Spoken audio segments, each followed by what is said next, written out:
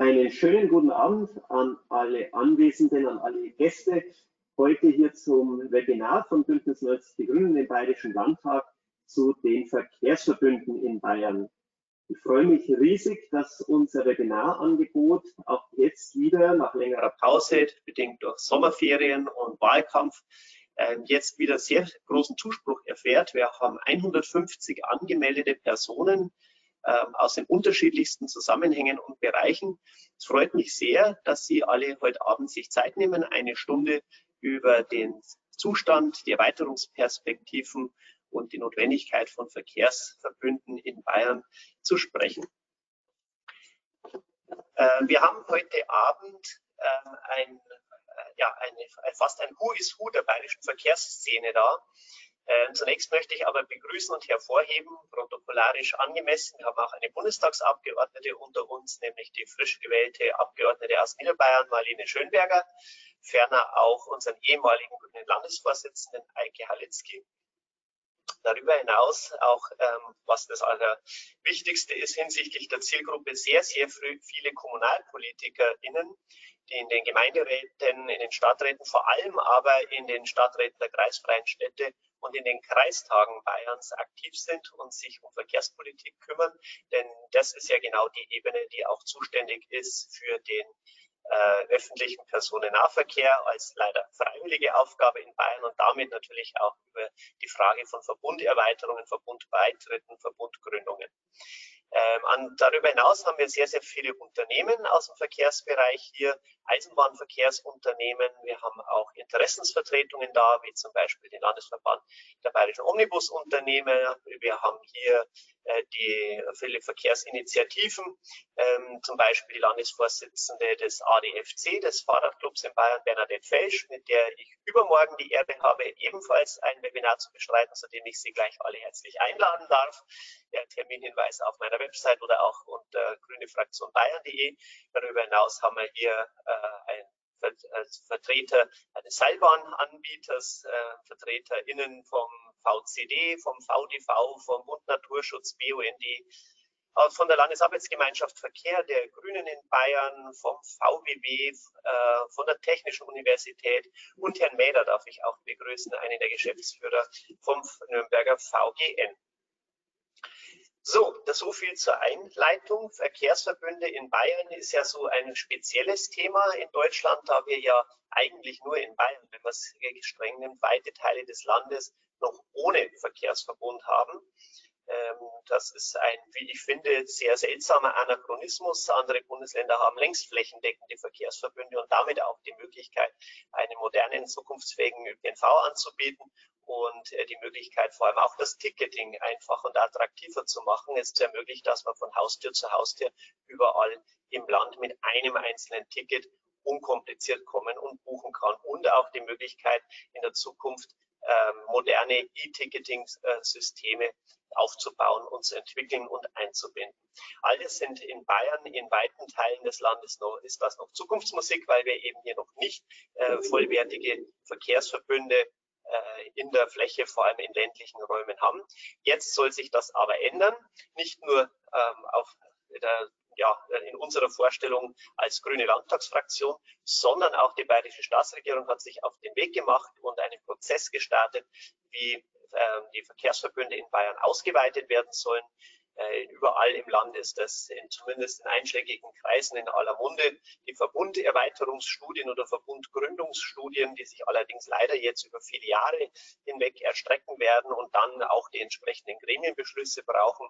Und natürlich noch zu klären ist, wer denn jetzt da die Kosten zahlt, wo sich der Freistaat Bayern momentan noch einen ziemlich schlanken Fuß macht. Aber das äh, ist äh, jetzt nur mal mein Einstieg, äh, ein, äh, mein Ausblick zum Einstieg sozusagen. Ich begrüße jetzt sehr sehr herzlich unsere beiden äh, FachreferentInnen, ähm, die kompetent sein, wie sie äh, sind, wie sie kompetenter kaum sein könnten. Sie sind Geschäftsführerinnen und Geschäftsführer zweier großer ähm, und gut organisierter Verkehrsverbünde in Bayern. Zum einen Frau Dr. Linda Kieserbacker vom AVV, vom Augsburger Verkehrsverbund und zum anderen Herr Dr. Bernd Rosenbusch vom Münchner Verkehrsverbund vom MVV. Herzlich willkommen. Vielen Dank, dass Sie sich jetzt in der hektischen Vorweihnachtszeit die Zeit nehmen, mit uns äh, über das Thema zu sprechen und uns hier ein fachliches, einen fachlichen Einstieg, einen Input zu geben. Bin sehr gespannt auf Ihre Folien und das, was Sie uns vorstellen werden und natürlich auch auf den Austausch danach. Alle Fragen, die Sie vielleicht haben an die beiden oder möglicherweise auch an mich. Die stellen Sie bitte schriftlich, indem Sie es hier in Ihrem Tool unter Fragen eintragen. Meine Mitarbeiterin, die Frau Dr. Anna Schuster-Brandes, wird das Ganze sortieren und ordnen und äh, hier dann einbringen und äh, zu, die, die, Fragen stellen. Äh, wenn es sehr viele Fragen gestellt werden, bitte ich jetzt schon mal um Nachsicht, dass wir nicht alles beantworten können. Wir wollen in einer Stunde fertig sein, wie es bei unserer Webinarreihe auch üblich ist. So, jetzt beginnt als erster Herr Rosenbusch. Bitte schön, Ihre Präsentation. Ja, Herr Büchler, vielen Dank äh, für die Einführung. Äh, genau, die Präsentation wird von der Kollegin geschert. Ich, ja, genau, da ist sie.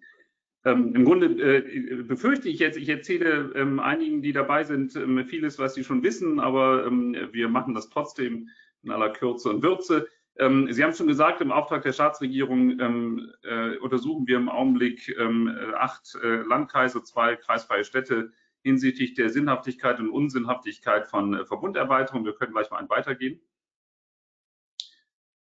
Ähm, äh, warum machen wir das? Weil wir ähm, in Großraum München ein echtes Verkehrsproblem haben. Das ist, glaube ich, jetzt allgemein bekannt, wenn man sich morgens den Verkehrsfonds anhört. Äh, wir sind ein sehr monozentristischer Raum, das heißt, alles fokussiert sich auf die Landeshauptstadt und die umliegenden Gemeinden und Landkreise. Es wird gependelt teilweise von über 100 Kilometer entfernt. Ähm, wir sind anders organisiert als ähm, äh, der Rhein-Main-Raum mit Wiesbaden, Mainz und Frankfurt, die alle große Städte haben, selbst anders als Kollege Mäder Nürnberg mit Erlangen, Fürth und Nürnberg ähm, auf der Städteachse. Bei uns geht alles in einen Raum rein und da ballt es sich ähm, am äh, Wochenende geht alles raus in die Berge, da es sich wieder. Also wir haben im Großraum München ein Verkehrsproblem. Wir gehen mal weiter. Ähm, Sie haben es eben gesagt, worüber redet man, wenn man über Verbundraumerweiterung spricht? Also wenn man sich wirklich Deutschland mal anguckt, ähm, Niedersachsen hat äh, verbundfreie Gebiete in Ostfriesland und ansonsten ist es im Wesentlichen ähm, Südbayern, ähm, äh, also ohne jetzt den Ostfriesen zu nahe treten zu wollen, aber dass wir quasi uns mit Ostfriesland vergleichen in verkehrspolitischen Themen ist irgendwie uns nicht ganz angemessen. Ähm, der Franke hat es da schon deutlich weitergebracht. Der VGN ähm, ist ja äh, extrem äh, ausgeweitet schon. Ähm, das hat meines Erachtens einen Grund, warum es überall Verbünde gibt, ähm, weil schlicht und ergreifend für den Fahrgast es deutlich leichter wird. Ähm, in der Mitte sehen Sie ein Beispiel von einem Herrn Seiler aus Bad Tölz. Der arme Mann ist 20 Kilometer gefahren, hat dafür 20 Euro bezahlt, also hin und zurück ähm, äh, und äh, hat acht Fahrkarten kaufen müssen. Und das Ganze hat er gemacht von äh, was Reichertsbeuern nach Benediktbeuern, also nicht irgendwo ähm, äh, in fernsten Gebieten, sondern ungefähr 50 Luftkilometer von ähm, Marienplatz in München entfernt. Ähm, äh, und das ist etwas, was natürlich den Umstieg dann wirklich auf Bus und Bahn deutlich erschwert. Ähm, Verbünde haben gezeigt, ähm, dass sie beim Tarifvertrieb, aber auch bei der Fahrplanauskunft zum Beispiel deutliche Vorteile haben. Wir gehen an weiter.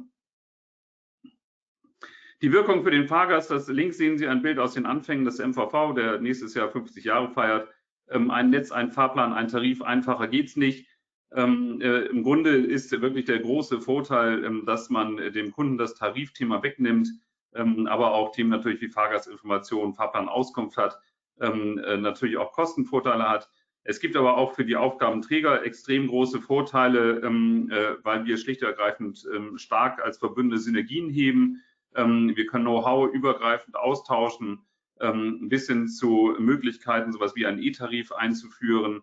Ähm, äh, die Kosten, die dabei entstehen, das Check-in-wie-out-System, was wir zum Beispiel jetzt im MVV haben, kann kaum ein Landkreis oder eine Stadt alleine tragen, macht auch keinen Sinn. Ähm, da macht es einfach Sinn, wenn dort Wissen, aber auch finanzielle Mittel gebündelt werden. Wir gehen dann weiter. Was sind die, die, Vorteile, wenn man mal ähm, untersucht für die äh, jeweiligen ähm, Anspruchsgruppen auf, aus Sicht der Aufgabenträger? Ähm, der Freistaat hat es ja im Koalitionspapier drinstehen und deswegen laufen ja überall Verbunderweiterungen. Heute habe ich gesehen, dass Berchtesgadener Land jetzt auch untersucht wird bis 2023. Ähm, der Vorteil ist einheitliche Ansprechpartner, Harmonisierung der Tarife und Schritt Richtung Landestarif, mehr Fahrgastzahlen. Das ähm, wissen wir aus dem Regensburger Verkehrsverbund. Ähm, dort gab es eine Verbunderweiterung und die Fahrgastzahlen sind etwa 10 bis 15 Prozent gestiegen, ohne Angebotsausweitung, nur weil schlicht und ergreifend ähm, das System einfach geworden ist. Die Landeshauptstadt hat einen großen Vorteil, weil es weniger Verkehrsbelastung gibt, weil die ähm, äh, Pendler, Einpendler quasi frühzeitig umsteigen und nicht erst nicht mit dem Auto in die Stadt fahren. Es gibt auch im Freizeitverkehr durchgehende Angebote für die Münchner in die Region ähm, auch da quasi am Schluss ähm, Synergien holen, wie für alle anderen Aufgabenträger durch eine Verbundgesellschaft. Für die Bestandslandkreise ähm, äh, ist es wichtig, die ähm, Verkehrsbeziehungen zu den heute nicht Verbundlandkreisen abzudecken. Dort bestehen sehr starke Pendelverpflichtungen, das sehen wir nachher nochmal, ähm, aber auch für kreisübergreifende Busverbindungen, die dann optimiert werden können mit einer Verbunderweiterung und Entlastung der bisherigen Verbundraumgrenzen vom Park-and-Ride-Verkehr. Heute pendeln sehr viele zum Beispiel nach Geltendorf ähm, weil schlicht und ergreifend dort die Verbundgrenze ist.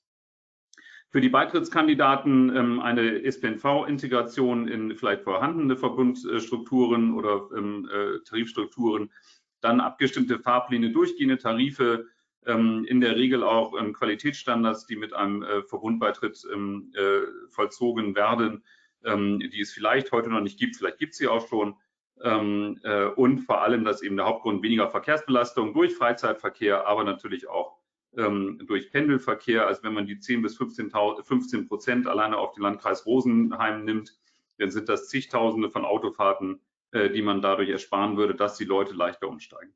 Wir gehen dann weiter. Was passiert im Augenblick? Ähm, wir sind vom Freistaat äh, und den ähm, zehn Beitritts, möglichen Beitrittskandidaten beauftragt worden, die Verbunderweiterung zu untersuchen. Wir haben dafür zwei Phasen gewählt. Das erste ist die Struktur- und Grundlagenstudie. Ähm, da geht es um Einwohnerbeschäftigte Tourismus. Da kann auch die Linda ähm, Kisabaka nachher noch was zu sagen. Das ist dort ähnlich. Ähm, äh, dort geht es erstmal darum festzustellen, ob sich verkehrswirtschaftlich ähm, äh, eine Verbunderweiterung lohnt, indem einfach Strukturdaten analysiert werden, vor allem Beziehungen zwischen den Landkreisen und ähm, den Bestandslandkreisen untersucht werden. Wir gehen dann weiter. Äh, in Summe haben wir extrem ähm, hohe Verflechtungen ähm, äh, von den künftigen äh, möglichen Beitrittskandidaten in die Bestandslandkreise und die Landeshauptstadt. Ähm, wir haben aber auch ähm, Verflechtungen zwischen den ähm, möglichen Beitrittskandidaten. wir sehen, dass wir etwa 160 Millionen Fahrten haben, die betroffen sind. Äh, wir sehen, dass gerade Landkreis äh, Landshut und Landkreis Rosenheim besonders äh, hohe Fahrtanteile in den heutigen Verbundraum haben. Ähm, wir sehen aber auch äh, Weilheim äh, und äh, Miesbach, die starke Verflechtungen haben in den äh, Verbundraum hinein, ähm, Landsberg ähm, mit starken Verflechtungen. Ähm, das unter der Woche und am Wochenende, wie schon erwähnt, eben in die andere Richtung. Dort dominiert natürlich ganz klar dann ähm, mit äh, Miesbach, Tölz, ähm, südlicher Teil äh, und Garmisch-Partenkirchen, die touristische Region ähm, Oberbayerns, ähm, die natürlich ganz klar, ähm, ganz klar Freizeitreisende anzieht. Wir gehen dann weiter. Ähm, exemplarisch einfach mal einen Blick, was alles untersucht wird. Ähm, zum Beispiel ähm, haben wir hier die Pendelbeziehung ähm, äh, vom Landkreis Rosenheim mal dargestellt, etwa 14.000 äh, Pendler ähm, in die Landeshauptstadt und ähm, äh, etwa 4000 äh, Pendler in den Landkreis Miesbach und auch wieder hinaus. Man sieht auch Traunstein ist mit 8000 Pendlern durchaus eine, eine große Destination für den Landkreis Rosenheim. Wir haben in der Mitte dann mal dargestellt, wie hoch ist der Anteil der Binnenpendler und der Auspendler. Ähm, äh, und äh, auf der rechten Seite nochmal das Thema Touristik untersucht. Ähm, so ungefähr zieht sich dann die Gesamtanalyse, die sich auf etwa 130 Seiten erstreckt pro Landkreis, ähm, äh, verzieht sich quasi die Ergebnisse der Stufe 1, wo wirklich intensiv ähm, die meisten Themen eigentlich wirklich gut bearbeiten konnten. Schwierig wird es immer bei den Selbstständigen, die werden ja nicht erfasst, äh, die haben auch nicht immer einen festen Arbeitsort, die muss man bei den ganzen Zahlen noch mit dazuzählen, ebenso die Beamten ähm, an deren Daten ist schwer ranzukommen. Auch die käme noch zusätzlich mit dazu. Das heißt, das Potenzial der, der Umsteiger auf den ÖPNV würde nochmal steigen. Gehen dann weiter. Äh, in einigen äh, Landkreisen schon in der zweiten Phase. Das heißt, wir untersuchen im Augenblick die wirtschaftlichen Effekte. Wir machen trotz Corona ähm, Fahrgasterhebungen, ähm, äh, um die heutig genutzten Tarife zu nehmen. Wir schauen uns Vertriebsdaten an. Ähm, das Ziel ist es, über Hochrechnungen im nächsten Jahr wirtschaftliche Effekte in Bandbreiten dann den Aufgabenträgern, also dem Freistaat und den Landkreisen, ähm, äh, und den Städten mitzugeben, ähm, damit auf der Basis dann untersucht oder äh, diskutiert und dann entschieden werden kann, was kostet ein Verbundbeitritt, ähm, können wir uns das leisten oder nicht. Und davon abhängig ist natürlich auch ein Tarifmodell, was gewählt wird. Ähm, der Freistaat hat Vorgaben gemacht, dass in Summe ähm, die äh, Verluste, die durch einen äh, Verbundbeitritt entstehen, und sie entstehen allein dadurch, weil ich heute mal zwei Fahrkarten kaufen muss oder noch mehr und bei jedem Fahrkartenkauf zahle ich quasi eine Einstiegsgebühr diese Einstiegsgebühr fällt ja weg und die Kosten dürfen nicht mehr als 10 Prozent unterm heutigen Niveau sein. Ähm, das heißt, wir brauchen auch heutige ähm, Vertriebsdaten, um eben die Kosten in Summe einer Verbunderweiterung zu kalkulieren. Wir gehen dann weiter. Das ist der ähm, Zeitplan im Augenblick. Das heißt, wir erheben im Augenblick im äh, Landkreis Rosenheim, in äh, Bad Tölz und in Miesbach und ähm, auf der Kochelseebahn. Äh, wir starten jetzt im äh, Dezember ähm, in äh, Mühldorf und in Landsberg ähm, und äh, würden dann, sofern Interesse besteht, an einer Fortführung der Studie auch in der Phase 2 in Landshut ähm, starten, sowie in Garmisch-Partenkirchen, um dann für die Aufgabenträger und nur die entscheiden am Schluss, die Landkreise, und nur die entscheiden am Schluss, ob es zu einem Verbundbeitritt kommt oder nicht. Wir liefern nur die Fakten dafür und auf der Basis müssen dann Kreistage entscheiden und diskutieren und entscheiden, ähm, ob sie einem Verbund, äh, ob sie dem MVV beitreten wollen oder nicht. Die Studie dient dafür, dafür die richtigen Fakten zu schaffen. Gehen dann weiter. Wie sieht der Zeitplan nochmal gezielt aus? Ähm, die Phase 1 ist in allen Gebieten abgeschlossen. Die ähm, Fahrgasterhebung als Phase 2, hatte ich eben erwähnt, läuft oder beginnt. Ähm, danach braucht es etwa ein Jahr nochmal zur Kalkulation und zur Diskussion äh, was äh, ein Verbundbeitritt kostet. Parallel zu den Erhebungen machen wir jetzt schon verschiedene Tarifmodelle, also wie ein Tarif in den Verbunderweiterungsgebieten aussehen könnte. Ähm, das Ganze geht dann an den Freistaat und an die Landkreise und die beiden Städte zur Diskussion, Abstimmung. Und wenn alles gut läuft und die Beschlüsse dann fallen, könnte zum Dezember 2023 ähm, könnten die Ersten dem MVV beitreten. Falls kein Interesse besteht, dann treten sie nicht bei. Das liegt, wie gesagt, in der Entscheidungshoheit der jeweiligen Kommune. Gehen wir weiter. Das war es auch schon in aller Kürze, damit wir noch Zeit für Diskussionen haben. Und da würde ich, glaube ich, jetzt erstmal zurück an Herrn Büchler geben oder direkt an die Linda Kieserwacker. Ja, vielen Dank, Herr Rosenbusch, für die auch zeitliche Punktlandung und die kompakten und guten Überblick und die Präsentation. Ich habe schon versprochen, dass wir beide Präsentationen dann im Nachgang auch zur Verfügung stellen können, den Teilnehmenden. Die Frage aus dem Chat kann ich oder aus dem Fragetool kann ich also hiermit schon mal beantworten. Ja, vielen Dank. Ich würde sagen, wir machen unmittelbar weiter. Alle Fragen sparen wir uns auf, weil vielleicht gibt es manche Sachen, die sich an beide, manche Fragen, die sich an beide Referierende richten und übergebe gleich an Sie, Frau Kisabaka. Ja, herzlichen Dank. Ich bräuchte jetzt noch mal die, ach so, die Bildschirmübertragung. So. So. so. Ich hoffe, denn Sie können den sehen, den Bildschirm.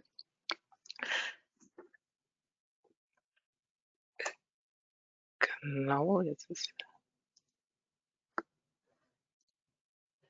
Genau. Ähm, ich möchte vortragen, ähm, wie derzeit der Stand ist der Machbarkeitsstudie der AVV-Verbunderweiterung, so wird es jeweils genannt. Allerdings ist es ja die Verbunderweiterung in den Landkreisen Dillingen an der Donau und Donau-Ries.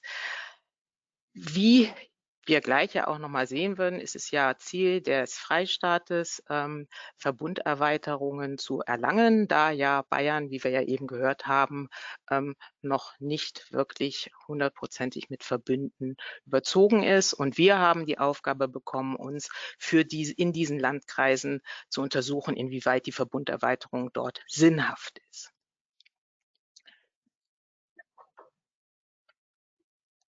Die Struktur ist diejenige, wie eben schon gesagt worden ist. Die Landkreise selbst sind diejenigen, die entscheiden und die auch zum Schluss festlegen werden, ob sie einen Verbund beitreten möchten oder nicht. Bei uns haben die Landkreise Dillingen an der Donau und Donau-Ries sich entschieden, uns als AVV als Projektsteuerer zu nutzen, da wir die Erfahrung haben im Sinne des Verbundes und da wir auch die Ressourcen dafür haben. Und wir haben dann für uns ein Projektbüro äh, genutzt, die PTV Group macht das gemeinsam mit Mobilité und Trafikon und führt diese Verbundstudie durch. Letztendlich haben wir auch weitere Partner, die Bayerische Eisenbahngesellschaft, die sich natürlich wie ähm, auch die Eisenbahnunternehmen beziehungsweise die relevanten Busunternehmen, aber auch ähm, ja, die Kommunen und Bürgermeister, das sind alles Projektbeteiligte, mit denen wir gemeinsam dann das Projekt weiterführen wollen und feststellen wollen, inwieweit eine Verbunderweiterung in diesen beiden Landkreisen wirklich dann auch sinnhaft ist. Wie erfolgt so eine Machbarkeitsstudie, die ja auch gefördert ist? Ähm, wie auch schon in München. Gleichermaßen ist es immer wieder die gleiche Vorgehensweise, nämlich zunächst zu gucken, ähm, was ist die verkehrliche Sinnhaftigkeit? Haben wir Verknüpfungen? Und vielleicht sind die Verknüpfungen rund um München ähm, anders als zum Beispiel bei uns in den Landkreisen. Da sind wir nicht ganz so monozentrisch aufgebaut wie äh, in der, in der zur Metropole München und da wird, wird, zuerst untersucht, wie die verkehrliche Sinnhaftigkeit ist. Nachdem die dann festgestellt worden ist mittels Gremienbeschlüssen, kommt dann erst die zweite Phase, nämlich im Rahmen einer Verkehrserhebung wird dann untersucht, wie sind denn die Verkehrsströme und gemeinschaftlich äh, mit den Vertriebsdaten, die dafür notwendig sind, möglichst umfassende Vertriebsdaten genommen. Und dann kann errechnet werden, inwieweit eine wirtschaftliche Sinnhaftigkeit tatsächlich da ist. Und in diesen Stufen gibt es dann wieder Entscheidungsmöglichkeiten, ähm, nämlich es könnte sein, dass die verkehrliche Sinnhaftigkeit bereits verneint wird. Dann würde die Studie dann auch schon stoppen. Insofern sind immer die Gremienbeschlüsse in diesen, äh, in den Land kreisen die relevanten Punkte, wo es dann weitergeht mit dieser Studie. Und am Ende der Studie steht zunächst ein Umsetzungskonzept, nämlich die Idee, wie eine Verbunderweiterung denn dann auch umgesetzt werden könnte. Die Umsetzung dauert dann allerdings auch noch mal eine Weile. Das Projektende ist bei uns für 2024 angedacht. Wir haben jetzt begonnen, dieses Jahr, also im Herbst, mit der Machbarkeitsstudie. Insofern kann ich Ihnen leider im Gegensatz zu Herrn Dr. Rosenbusch noch keine tatsächlichen Ergebnisse präsentieren, aber ich möchte mal aufzeigen, was aus meiner Sicht so die Knackpunkte bei einer solchen Verbunderweiterung sein könnten. Die verkehrliche Sinnhaftigkeit, das hatte ich, äh, ist auch eben schon erwähnt worden von Herrn Dr. Rosenbusch. Ähm, das, da guckt man sich zuerst an, was sind denn für Nachfragepotenziale da? Welche Nachfragepotenziale habe ich zurzeit im öffentlichen Personennahverkehr bei dem derzeitigen Leistungsangebot, aber auch welche Nachfragepotenziale habe ich im motorisierten Individualverkehr? Denn Sinn einer Verbunderweiterung ist es ja, über die Verbundeffekte, nämlich ein Ticket, dann die Menschen möglichst vom motorisierten Individualverkehr in den ÖPNV zu ziehen.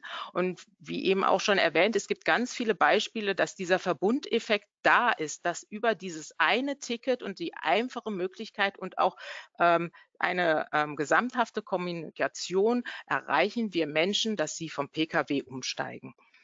Gleichzeitig muss immer geguckt werden, wie ist das Verkehrsangebot im Ist und im Status quo, welche Preisstrukturen habe ich und wie kann ich die dann auch später weiterentwickeln. Und es muss geguckt werden, wie ist der ÖPNV derzeit organisiert, wie wird er finanziert, denn auch das hat natürlich im Status quo dann Effekte dann auf den, die weitere Vorgehensweise. Der Ordnungsrahmen ist genau das, nämlich wie muss ich denn später, wie kann ich dann in den nächsten Schritt gehen und wie kann ich dann Harmonisierung im Sinne des Ordnungsrahmens, also im Sinne der Tarife, aber auch im Sinne der Struktur erreichen. Und zum Schluss gibt es dann je Landkreis eine Empfehlung bezüglich eines Beitritts eines Verbundes, aber vielleicht auch zu Überlappungsgebieten beziehungsweise Verknüpfungen mit anderen Verbünden. Gerade ähm, bei uns in der Region ist es so, dass es nicht alles ganz so monozentrisch ist, sodass wir vielleicht da auch unterschiedliche Empfehlungen haben werden. Die Fahrgastnachfrage ist ja das, was wir erreichen wollen, nämlich über den Verbundeffekt. Ein Ticket sollen mehr Fahrgäste in den ÖPNV gewonnen werden. Und das ist auch etwas, was erfahrungsgemäß immer gut funktioniert.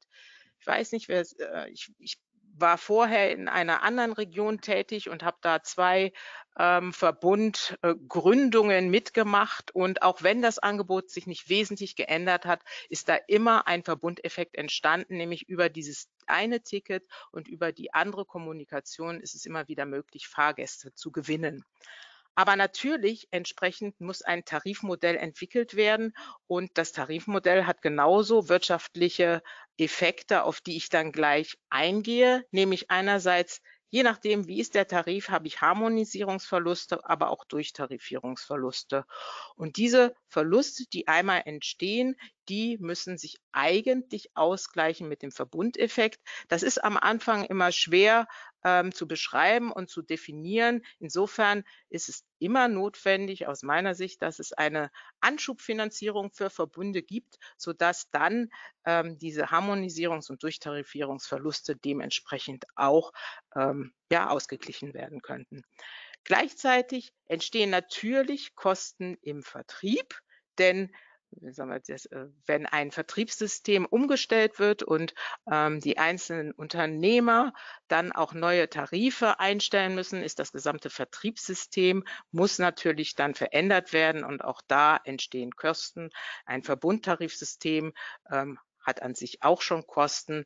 Auch da haben wir wirtschaftliche Effekte. Und gleichermaßen Regiekosten. Natürlich ist ein Verbundtarif, auch wenn man sich da nur auf eine Tarifgemeinschaft einigen würde, entstehen Regiekosten, die auch auszugleichen sind. Insofern ist immer ähm, trotz der Freude der steigenden Nachfrage ist zu beachten, dass es wirtschaftliche Effekte geben wird und zunächst verbundbedingte Belastungen entstehen.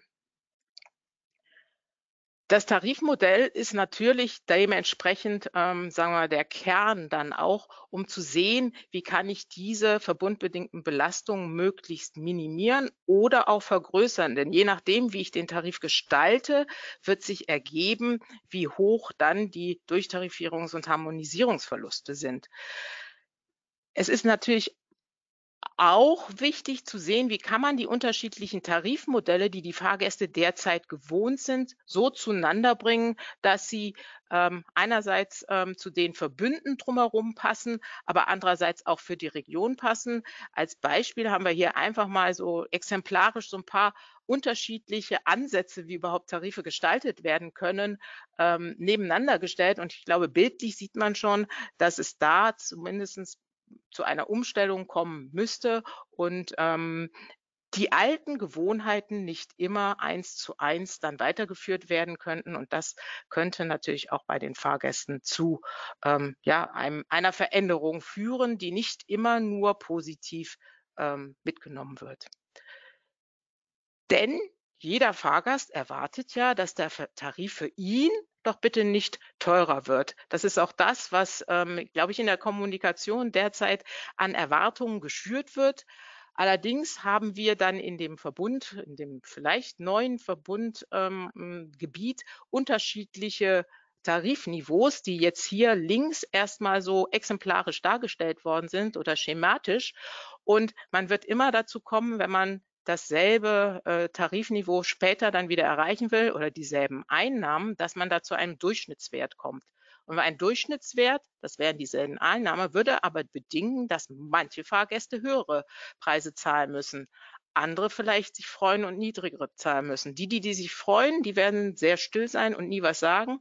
Aber die, die höhere Preise zahlen müssten, werden sehr, sehr laut schreien. Und hier ist insofern genau die entscheidende Frage, wie möchte man dort mit den Tarifen umgehen? Welche Erwartungen schüre ich bei einer Verbunderweiterung? Und wird es wirklich für jeden preisgünstiger werden? Und wird es wohl nicht? Und dementsprechend ähm, könnte es auch sein, dass es dort äh, zu Schwierigkeiten kommt. Wenn man allerdings politisch entscheidet, ja, wir wollen einen sehr, sehr attraktiven Preis haben, dann werden die Harmonisierungsverluste, die dadurch entstehen, dass die Tarife auf ein gleiches Niveau gezogen werden und möglichst ein niedriges Niveau, wie ich die Diskussionen jetzt hier auch immer verstehe, sehr äh, entstehen. Harmonisierungsverluste und gleichzeitig werden wir Durchtarifierungsverluste haben, denn aus zwei Tickets wird ein Ticket und derjenige, der dann mit dem einen Ticket durchfährt, erwartet natürlich, und das ist ja auch der Verbundeffekt, dass es dann insgesamt für ihn preisgünstiger wird. Allerdings wird derjenige, der eben nicht, äh, der nur von Adorf nach, nach X Stadt fährt und dann eben nicht weiter in den Stadtteil fährt, wird wiederum sagen, warum soll ich denn jetzt mehr dafür zahlen, obwohl ich äh, genauso die gleiche Nutzung habe wie vorher. Und das sind dementsprechend die Durchtarifierungsverluste, die dann entstehen werden, nämlich dass der Preis für die zwei vorherigen Fahrkarten auf jeden Fall höher sein wird als der eine Preis. Und je nachdem, wie in der Diskussion miteinander umgegangen wird, müssten diese Harmonisierungs- und Durchtarifierungsverluste dann auch ausgeglichen werden. Ich kenne da Modelle, wie man das abschmelzen kann, wie man vielleicht den Übergang etwas einfacher macht, denn ähm, die verbundbedingten Fahrgastnachfragesteigerungen, die ergeben sich meistens nicht im allerersten Jahr.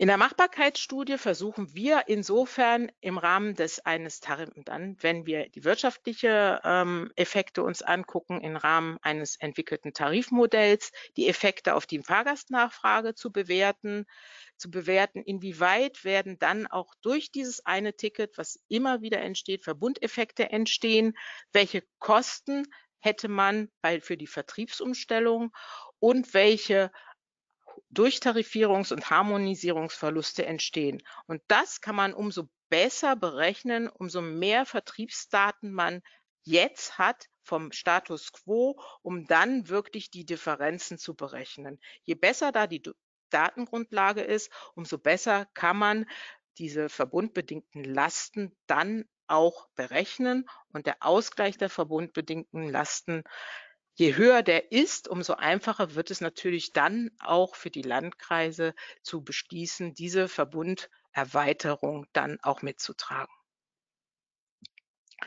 Neben dem einen Thema, ich möchte ein Ticket, ich möchte möglichst auch konsistente Fahrgastinformationen und möglichst auch eine einheitliche digitale Plattform. Das ist das Thema Ticketing im Rahmen ähm, einer Verbunderweiterung gibt es natürlich immer im Tarif die Forderung derzeit sehr massiv äh, getragen nach einem möglichst günstigen Tarif. Es gibt die Forderung, das ist, glaube ich, auch ein Thema für Verbunderweiterung, nach einem 365-Euro-Ticket für Schüler und Auszubildende eben auch in den derzeit nicht ähm, mit Verbünden ähm, ähm, durchzogenen Gebieten.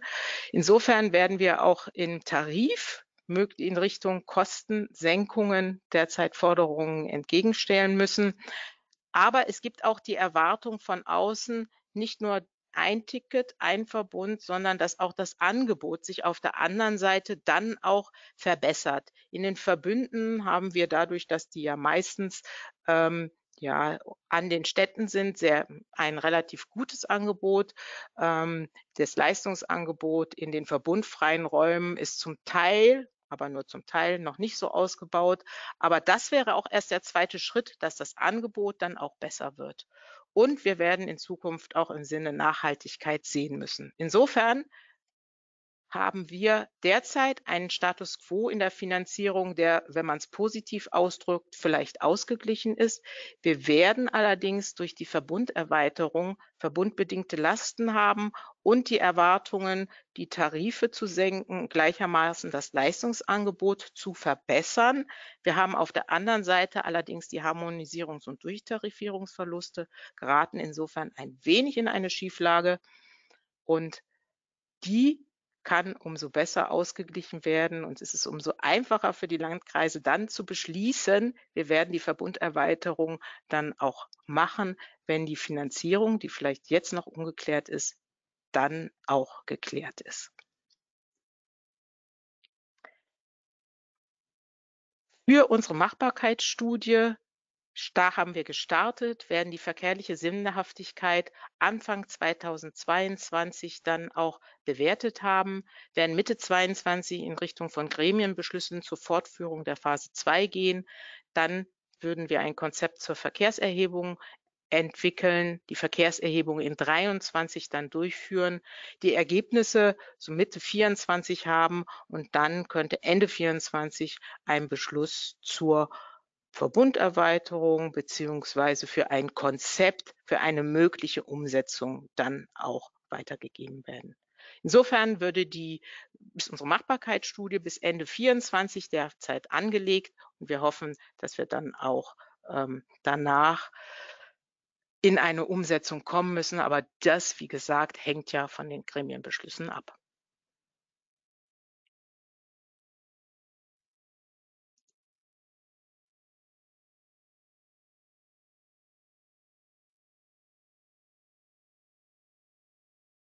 Und hiermit übergebe ich dann wieder an Herrn Bischeder.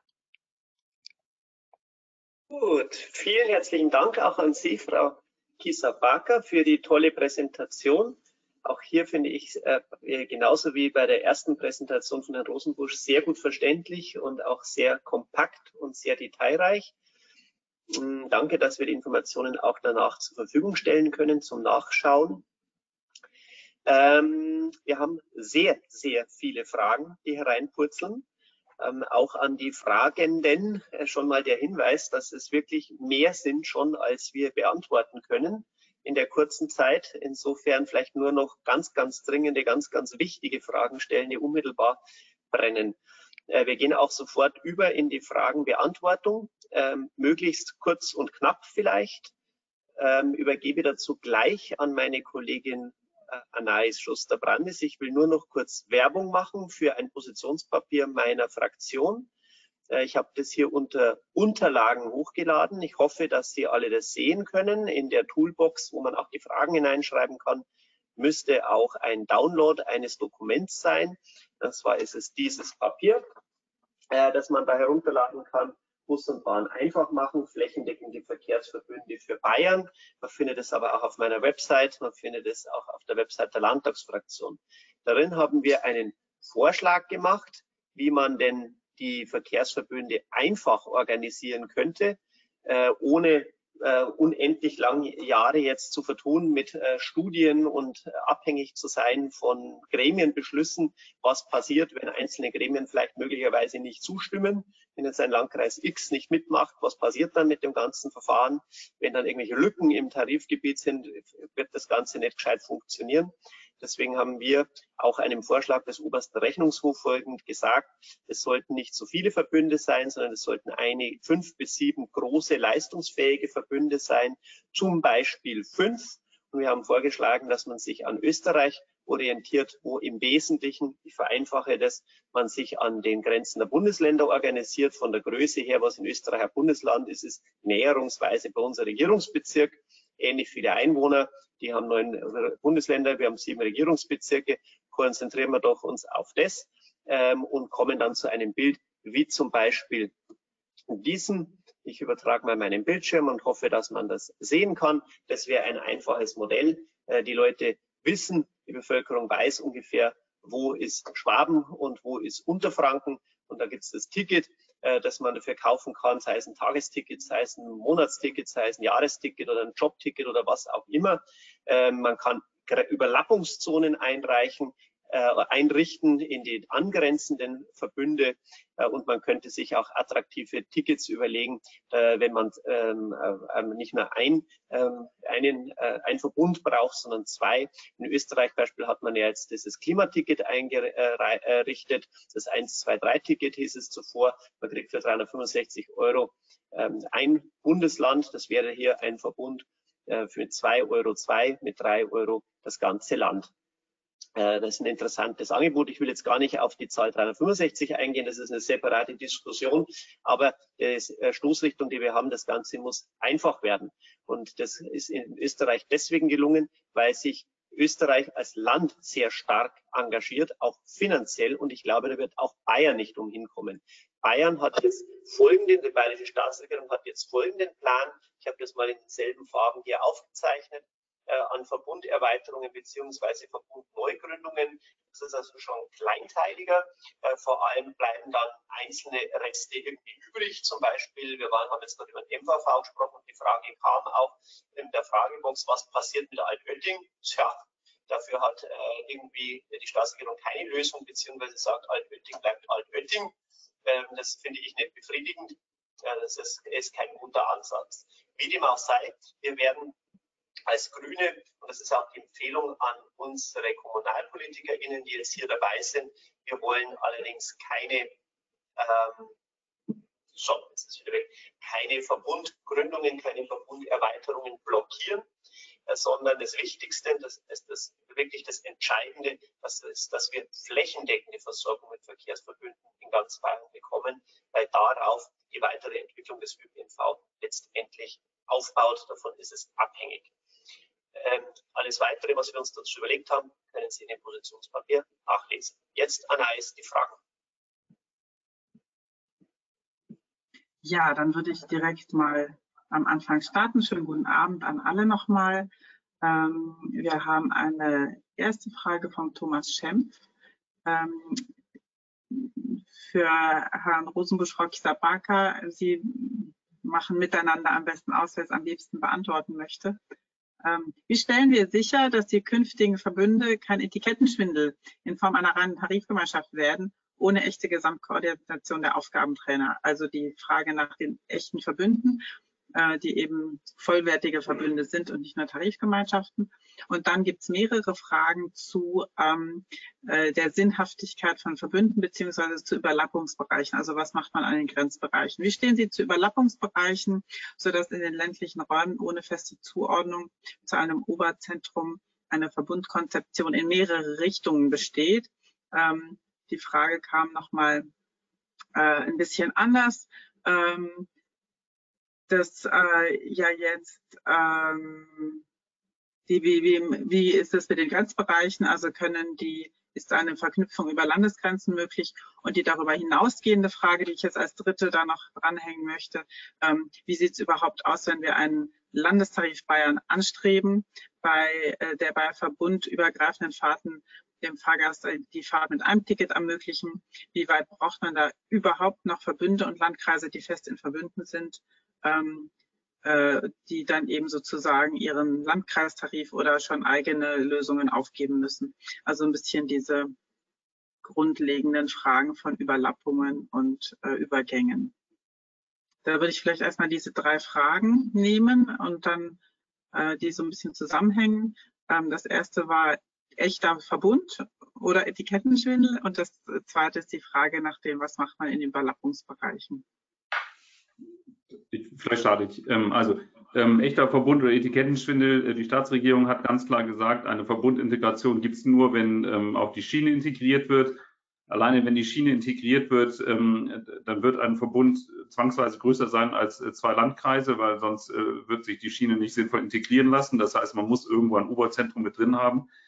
Wenn ich ein Oberzentrum mit drin habe, ähm, dann bedingt sich, ähm, dass ähm, mehr, dass, dass bei der Verkehr so groß wird, dass es am Schluss mehr sein wird als nur ähm, eine Tarifgemeinschaft. Also ich glaube, dass das Risiko ist, also jedenfalls in den Bildern, die wir jetzt hier da sehen, ähm, eher gering. ähm, zumal sich ja häufig an Bestandsverbünde angedockt wird. Äh, selbst in Berchtesgaden wird es ja wahrscheinlich tendenziell, wenn dann Richtung Salzburg gehen.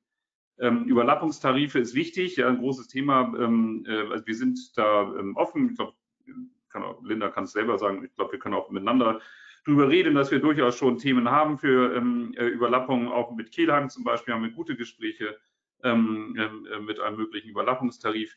Ähm, sonst, ich glaube, was ganz schwierig ist, wenn man anfängt, Landkreise oder Gebiete zu halbieren, also der Westen geht äh, zu dem, der Osten geht zu dem oder der Westen kriegt keinen Verbund und der Osten kriegt einen Verbund, weil sie wollen nicht an der Straßenseite wohnen, wo sie mit einmal eben nicht mit dem MVV-Tarif mehr fahren können. Das wird nicht funktionieren. Deswegen muss das ähm, am Schluss wahrscheinlich die Gebietskörperschaften äh, irgendwie sinnvoll zugeteilt werden. Ähm, äh, das macht, glaube ich, auf jeden Fall ähm, Sinn. Äh, warum braucht man noch ähm, Verbünde, wenn es einen Landestarif gibt? Äh, weil man nicht einen Tarif über ganz Bayern schnitzen kann. Also wir haben vorhin schon gehört, ähm, dass wir im, im VGN äh, eher polyzentrisch sind, im MVV monozentrisch. Ähm, äh, das bedingt ganz andere Tarifstrukturen am Ende. Wir haben andere, wir haben am Schluss andere Fahrtenbedingungen. Wir haben mehr Industrie in dem einen Ort, wir haben mehr Dienstleistungen im anderen. Ähm, ich kann für ähm, so große Verkehrsbeziehungen nicht einen gemeinsam bayernweiten Tarif machen. Ganz ehrlich, was sehen wir bei der Bahn? Die Bahn hatte ja im Fernverkehr einen deutschlandweiten Tarif, weicht ihn ja immer weiter auf, ähm, indem sie einen Relationstarif draus macht. Also insofern äh, glaube ich, wird ein Landestarif alleine nicht funktionieren. Äh, aber wohl äh, macht ein Landestarif trotzdem Sinn, nämlich für raumübergreifende Fahrten, verbundübergreifende Fahrten. Ähm, äh, da macht auf jeden Fall ein Landestarif Sinn, ähm, auch unterhalb des Deutschlandtarifs. Ich glaube, das ergänzt sich gut, aber ich kann mir im Augenblick nicht vorstellen, ähm, dass in den nächsten 20, 30 Jahren ein Landestarif quasi alle Verbundtarife sinnvoll ersetzen kann. Dem kann ich auch hinzufügen, dass ähm, das war ja auch noch die Frage, ähm, inwieweit ähm, es durchaus verkehrlich ja sein kann. Das ist ja auch bei uns in der Region ähm, über eine Landesgrenze hinweg. Und das ist eben die Frage einerseits eine Landesgrenze im Sinne von Ländern in Deutschland, aber auch ähm, ähm, insgesamt eine Staatsgrenze. Das ist natürlich derzeit ähm, durch die politische Situation und die Finanzierungssituation noch relativ schwierig, da zu einem Ergebnis zu kommen. Ähm, wenn wir innerhalb von Bayern ein gutes Ergebnis haben, das ist, glaube ich, schon ein, ein, ein hehres Ziel und ein gutes Ziel. Ähm, ich hatte ja gesagt, Tarifgemeinschaften. Ich denke, dazu muss natürlich auch kommen, dass in, im Sinne der Finanzierung, auch des Angebotes, da die finanziellen Mittel dann auch für alle ähm, gleich verteilt sind. Insofern glaube ich, dass um nicht nur eine Tarifgemeinschaft zu machen, sondern wirklich das Angebot auch dementsprechend dann erweitern zu können, braucht es die entsprechende Finanzierung.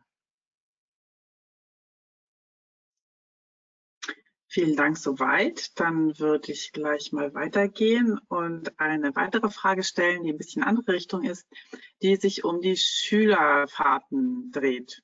Ist es richtig, dass die Schülerfahrten eher separat bedient werden?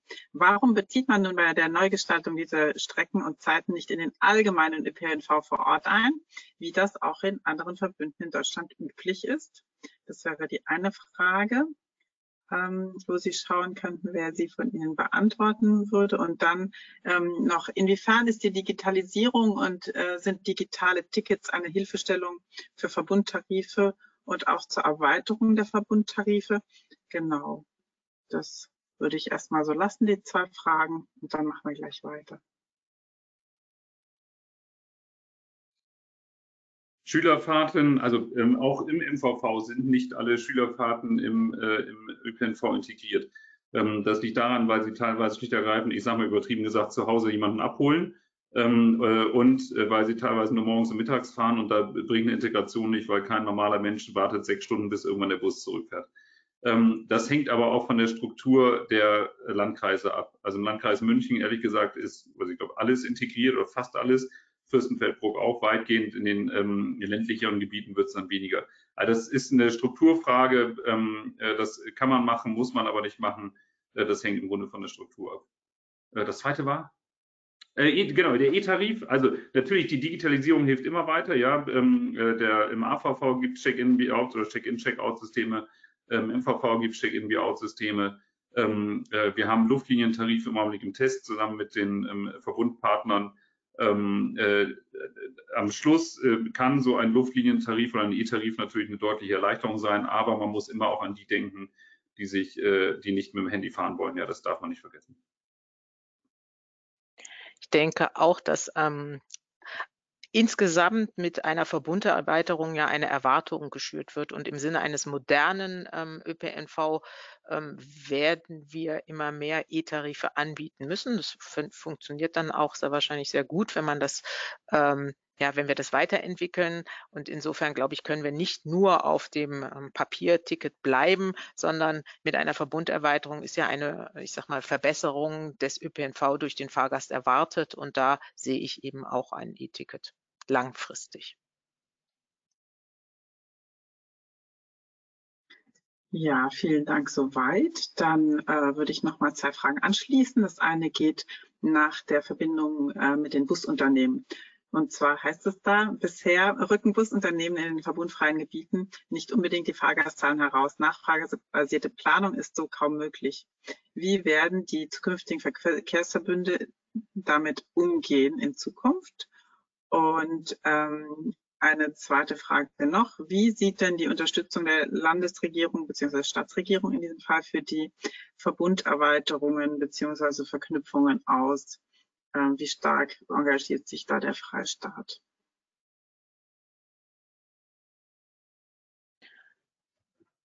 Also ich, ich hoffe, wir hatten das schon deutlich gemacht. Die Verbunderweiterungsstudien werden ja durch den Freistaat gefördert. Also da ist ein starkes Engagement da. Und äh, wie es ja auch Ziel der Staatsregierung ist, da sieht man ja auch an dem Bild in Richtung ähm, der Verbunderweiterungsstudien, die dementsprechend auch finanziert werden. Ähm, das, da ist wirklich ein starkes Engagement da. Es ist eben wir werden sehen, ähm, nachdem wir dann die Machbarkeitsstudien umgesetzt haben, ähm, hoffen wir dementsprechend weiterhin auf dieses Engagement. Und die zweite Frage war, wie in den Verbünden damit umgegangen werden wird.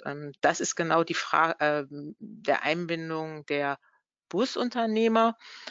ich denke, das sind genau die organisatorischen, regulatorischen Fragen, die in Zukunft vielleicht auch äh, je Verbund, je Landkreis unterschiedlich gelöst werden können, wie nämlich dort die Aufstellung ist. Ich denke, wichtig ist erstmal im Rahmen der ähm, Verbunderweiterungsstudien, dass diese Daten auch genutzt werden, beziehungsweise die Busunternehmer diese auch zur Verfügung stellen, denn sonst werden Entscheidungen auf Basis ähm, von ähm, fehlenden Informationen ähm, gefällt werden und das könnten im Sinne der Berechnung der verbundbedingten Belastungen dann auch falsche Informationen sein. Im Grunde ist es ja so, also auch, wir, wir, Linda und ich haben ja früher beide bei der Eisenbahn gearbeitet, also auch da geben wir nicht, haben wir nicht wahllos irgendwelche Einnahmedaten rausgeworfen, ja. Ähm, also das geht mit Vertraulichkeitserklärungen, das steht außer Frage, weil sie ja teilweise auch wettbewerbsrelevant sind. Also ich glaube, die Rolle der, der Vertriebsdaten vom Busunternehmen ist nicht anders als die von Umsatzdaten von Rewe. Ja, das ist am Schluss so, man gibt eben nicht alles äh, dezidiert raus. Wenn man es rausgibt, äh, ist vollkommen richtig, wir brauchen sie, weil sonst äh, gibt es auf Basis falscher Daten am Schluss falsche Entscheidungen. Aber das muss vertraulichkeitsgarantierend sein. Ähm, was noch wichtig ist, ähm, das ist, das ist ganz schwer, immer wieder äh, wirklich an den Mann zu bringen. Eine Verbunderweiterung heißt nicht, ähm, dass damit gleich Ausschreibungswettbewerb kommt. Ja, also das ist damit überhaupt, das eine ist ähm, quasi eine Erweiterung der Tarife und vielleicht noch ähm, der Fahrplanabstimmung ähm, und Echtzeitinformation und das andere ist, wie der Markt funktioniert.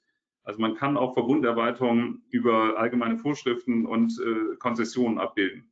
Das ist ausschließlich Sache der Aufgabenträger, in dem Fall der Landkreise oder der Städte, also meistens der Landkreise. Ähm, das hat, ist also überhaupt nicht in äh, unserer Rolle und wir haben da auch gar nichts mit zu quaken, äh, ob in irgendeinem der Verbunderweiterungsgebiete künftig eigenwirtschaftlicher Verkehr stattfindet oder nicht. Das ist ausschließlich Sache der ähm, dortigen ähm, äh, Landkreise, das zu entscheiden, wie sie mit dem Verkehr umgehen wollen. Können Sie das heute auch schon machen, ausschreiben. Ähm, äh, aber das ist nicht unser Ding. Also das eine ist Verbunderweiterung, das andere ist, wie der Markt strukturiert ist. Ähm, die Verbunderweiterung, das äh, untersuchen wir. Die Marktstrukturierung ist ein Thema der Landkreise.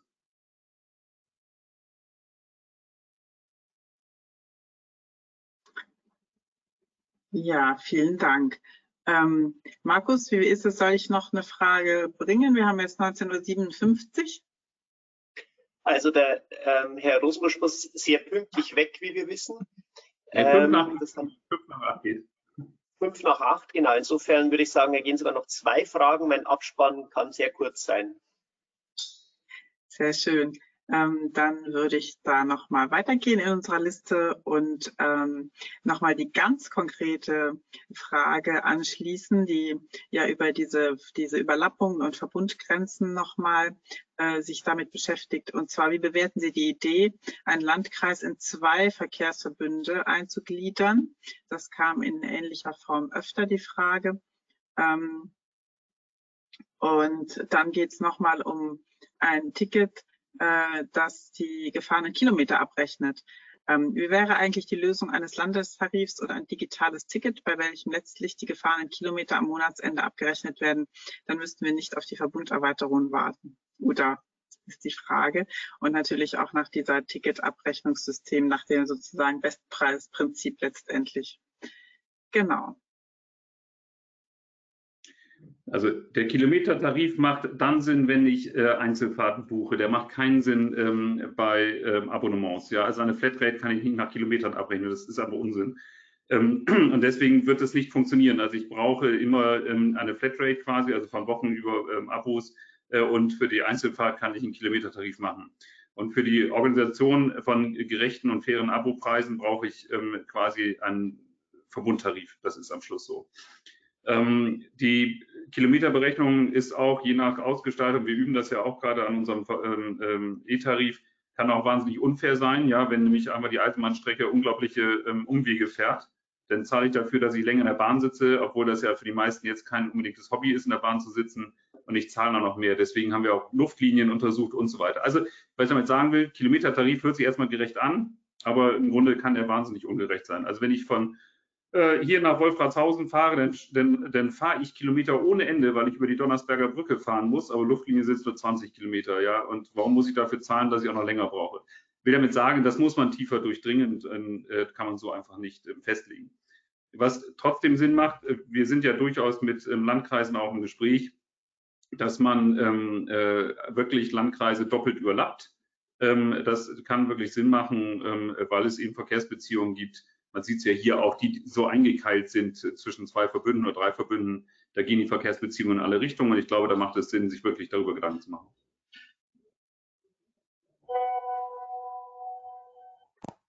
Gut, wunderbar. Dann würde ich sagen, unsere Zeit ist rum. Vielen herzlichen Dank an Sie beide, dass Sie sich Zeit genommen haben, in der stressigen Vorweihnachtszeit heute äh, Ihre Informationen uns hier ähm, zuteil werden zu lassen und die vielen speziellen, teilweise sehr speziellen Fragen zu beantworten. Es wären noch ganz, ganz viele da, aber dafür ist die Zeit jetzt nicht mehr.